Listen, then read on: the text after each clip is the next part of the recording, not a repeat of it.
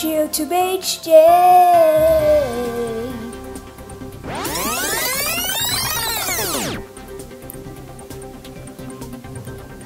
From Bryan Singer before he directs Superman Returns and Days of Future Past, not Last Stand.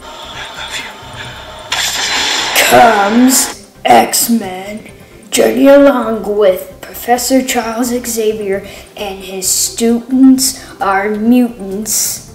They rhyme, right? Logan, a sharp knife who has three of them. And he has bones in the past. Cyclops, a laser beamed like Darth Vader's lightsaber, and her girlfriend Jean Grey, also known as Phoenix, her girlfriend.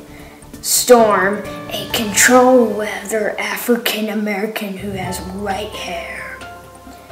And their enemies Magneto, a force from Star Wars. Sabretooth, a blondie vampire, and her Navi psychic Mystique.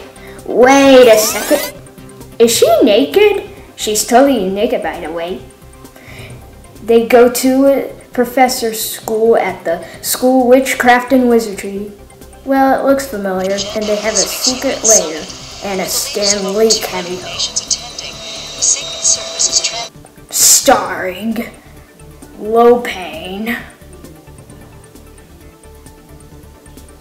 Darth Vader's lightsaber, Spooky Ghost, Scarlet Witch, Magnets, how do they work? Rebecca Emoji. It's getting cold in here. A girl who made sick people. Blondie Wolverine. And Timmy, X-Man.